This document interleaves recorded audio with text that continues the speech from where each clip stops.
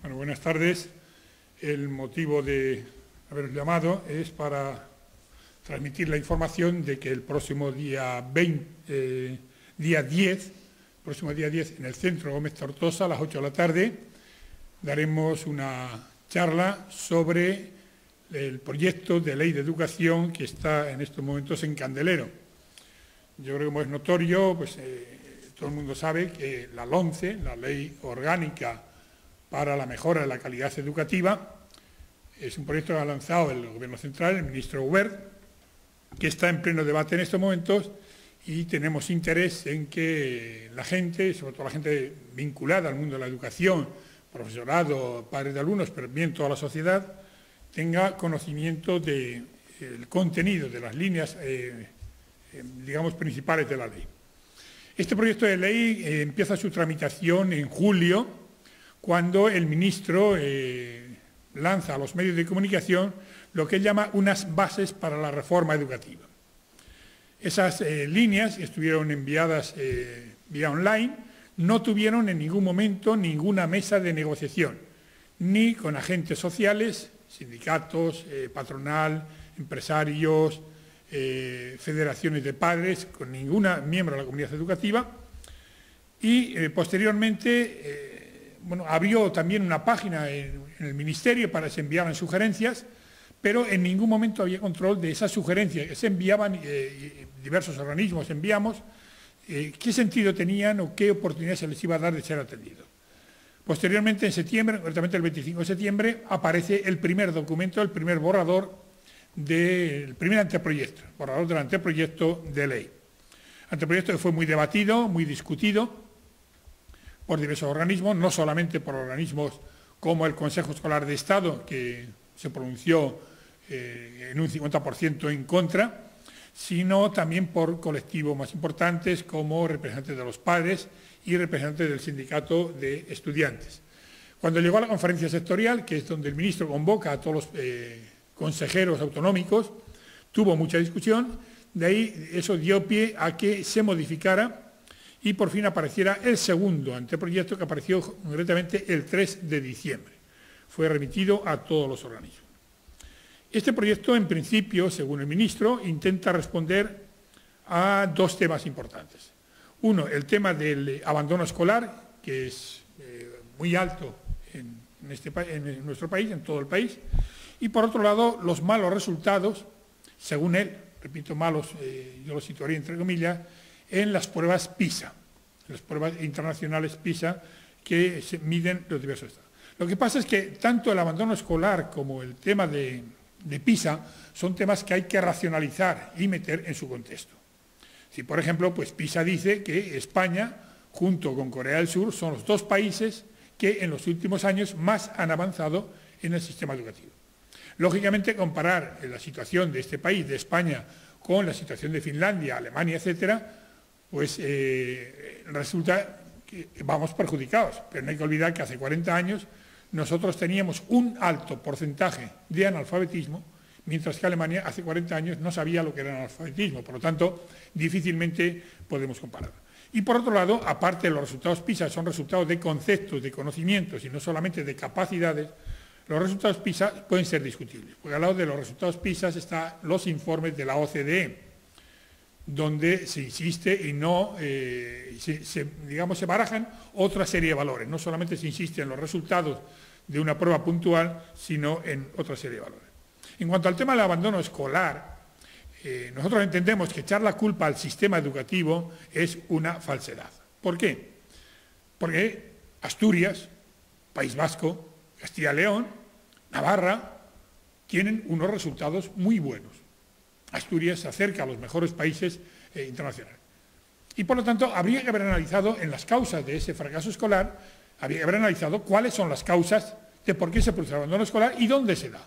Es curioso que sea la Comunidad Valenciana, Murcia, Andalucía, es decir, aquellas comunidades que han basado su economía en la cultura del ladrillo, sean precisamente esas las que tienen unas tasas de abandono escolar más altas.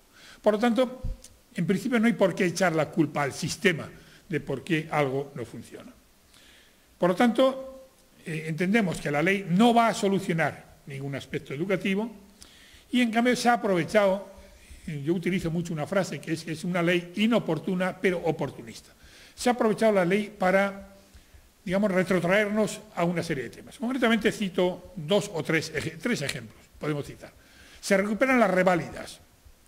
Las reválidas, antiguamente llamadas de cuarto y sexto, se pusieron en este país en una ley de 1955. La ley de enseñanzas medias fue quien puso el examen de ingreso al antiguo bachillerato a la revalida de cuarto y revalida de sexto. Por lo tanto, volvemos a recuperar algunas pruebas que la ley de 1970, la ley Villar Palasí, que muchos habrán estudiado, la ley de la EGB o el BUP, para entendernos, eh, esa ley quitó las revalidas, ya entendía que no era. Ahora la recuperamos. Pero además vamos a recuperar otro aspecto que es muy polémico, que es que la religión tendrá una asignatura alternativa evaluable. Se llamará ética. Esta, esta situación estaba en la Ley General de Educación de 1970. Y estoy citando dos leyes, 1955 y 1970, que son dos leyes franquistas. Pero es más, cuando en el preámbulo, por ejemplo, sale el tema, y luego en un artículo lo citará también, sale el tema de que, eh, sabéis que ha habido mucho conflicto con el tema si se puede subvencionar, perdón, concertar a colegios que solamente admitan chicos y no chicas, o al revés, admitan chicas y no chicos, es decir, la segregación de sexos. En estos momentos los conciertos obligan a que no haya, eh, digamos, eh, ninguna, ninguna traba a escolarizar a unos u otros alumnos.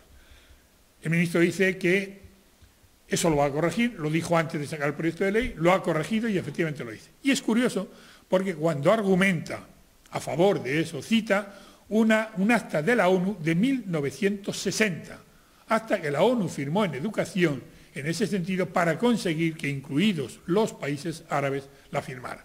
Concretamente fue una, un acta, una disposición que firmó incluso Arabia Saudí. Por lo tanto, está claro, es una ley que tiene un cierto sentido eh, retrógrado eh, y que nos devuelve a épocas muy pasadas y que ya habíamos olvidado. Aparte de eso, yo creo que hay en esta ley un miedo cerval, un miedo visceral, a que se escape el control, de ahí que en la orden aparece, eh, perdón, en, la ley aparecen algunas disposiciones, algunos detalles que normalmente no aparecen en una ley orgánica, sino que aparecen después en el desarrollo de las leyes. Es decir, hay un intento de centralizarlo. Hay una insistencia constante en el mercantilismo, el alumno, el estudiante los alumnos y alumnas simplemente como un producto para competir en el mercado, olvidándose de cuáles son los valores eh, culturales de, la educación, y aprovechado para quitar una asignatura que ha generado mucha polémica y que el ministro ha hecho el ridículo eh, con ella de manera soberana, que es educación para la ciudadanía. El ministro efectivamente tuvo una intervención en los medios de comunicación y leyó públicamente un párrafo de un libro de educación para la ciudadanía, como texto. Ese texto que él leyó, como él mismo reconoció, no pertenecía a un libro de educación para la ciudadanía. No existía tal libro. Y por lo tanto, él mismo en aquel momento se cubrió diciendo que no, que, no, tenía razón y lo reconoció después. Había sido un error de, un asesor que le había enviado. Por eso nosotros creemos que esta ley debe ser conocida, que este borrador debe ser conocido. Hay un aspecto, por fin, eh, muy llamativo. Eh, esta orden, esta ley, perdón, es una contraley. ¿Por qué? Porque normalmente las leyes tienen una serie de artículos, luego tienen disposiciones adicionales, transitorias, finales, etc. Bien, esta ley no tiene más que un artículo. Artículo único. Se derogan los siguientes apartados de la ley orgánica de, la ley orgánica de, la LOE. Ese es su objetivo. Por lo tanto, está claro que es una contrarreforma. Nosotros creemos que habría haber conseguido, habría haber conseguido un gran pacto social en el tema de educación. Yo creo que el tema de la educación no puede estar supeditado eh, con temas tan extravagantes como los que aparecen aquí a, todo, a, este vaivén en un otro sentido. Así, cuando hablamos de la religión, bueno, pues respetamos que haya, el concordato está ahí, el concordato dice que hay que partir, pero bueno, la religión, quien quiera cursarla, la va a cursar, no necesariamente hay que obligar. Entendemos que si el gobierno, si el ministro considera que los alumnos deben recibir una formación ética en valores, tendrá obligación de impartirla para todos. Después, aparte, si alguno quiere cursar la religión, vale, pues que lo curse. Personalmente, por supuesto, no estoy de acuerdo. Si yo creo, como dicen además algunos representantes de la Iglesia que la religión pertenece al ámbito privado, no al ámbito público, al ámbito privado de cada uno, y por lo tanto es en el ámbito privado donde hay que defenderla y cuestionar, pero no en el ámbito público donde no tiene por estar. En fin, esa es la línea, las grandes líneas que ese día explicaremos un poco más detalladamente de esta eh, propuesta de ley que, como todos sabéis, está siendo contestada de forma sistemática. Eh, ayer mismo aparecía en el periódico pues, una noticia importante en Baleares, se han creado por todas las comunidades eh, cumbres sociales, foros por la educación, plataformas por la escuela pública, plataformas por la escuela concertada. Y ah, en Baleares, por ejemplo, ayer aparecía, creo que ayer aparecía, no sé si lo he oído en la radio o en la prensa, pero vamos, aparte tenía el mensaje de compañeros de Baleares que me decían que se había constituido una mesa en defensa de la escuela, sin citar, y que habían participado en ella tanto representantes de la concertada como de la pública. Yo quisiera en ese sentido decir que lo que se está rompiendo aquí no solamente la escuela pública, sino es el sistema educativo.